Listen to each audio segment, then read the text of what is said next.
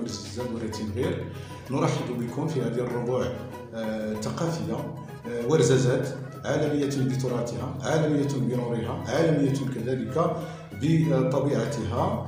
آه، اليوم نلتقي لنرتقي آه، أدراج النجاح نلتقي مع يعني تظاهرة ثقافية اللي شاركت فيها المديرية الإقليمية للثقافة.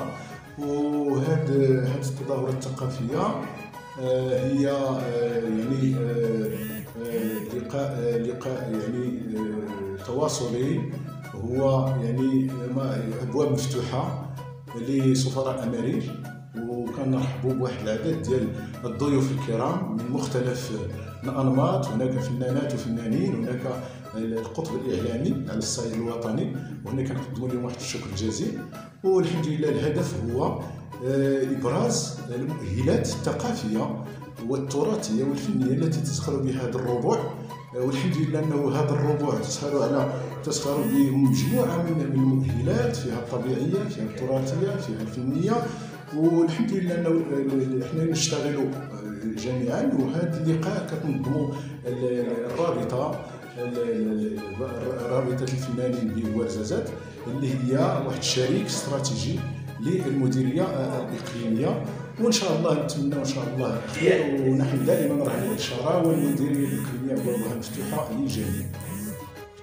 نحضر هذا اللقاء الثقافي الفني الذي تنظمه رابطة الفنانين المبدعين بورزازات واللي كيدخل في إطار آه، أولا تلاقح ثقافي بين آه، إقليم تيزنيت أو جهة سماسة وجهة درعا تفيدات اللقاء هو آه، يعني يرتكز على الثقافة السياحية الداخلية.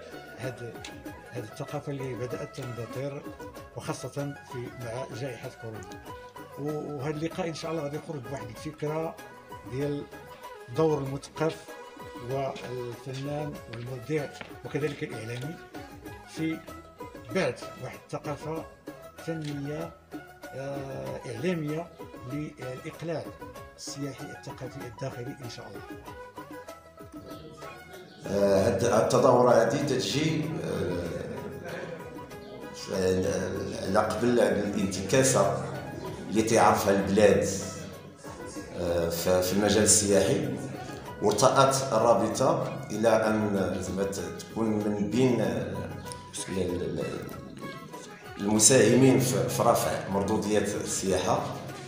وقمنا بتنظيم هذه التظاهرة اللي مع سفراء امارير وهما أعضاء من تيزنيت. جاو هنا باش نتبادلوا آه، كل ما هو ثقافي وفني وتراثي. وتشكرهم آه، جزيل الشكر على ال- على الحضور ديالهم. ونظرا كما قلت لما ت- ال- لما ت- ت- يعرفه البلاد من الانتكاسة بصدد هذا الوباء ديال الكوفيد كورونا. آه، من بين الأهداف اللي سطرتها ال- ال- الرابطة هو التشجيع. كل ما هو ثقافي كل ما هو سياحي كما قلت وكل ما هو سياحي. و الرابطه عندها مازال إن شاء الله آه، عندها مازال برامج برامج تمشي في هذا تسير في هذا في هذا النمط هذا. وإن شاء الله إن شاء الله مازال آه، كاين ما يدار إن شاء الله. مع مع الجمعيات الأخرين ومع المجتمع المدني ومع جميع الناس اللي تهتموا بهذا الميدان هذا.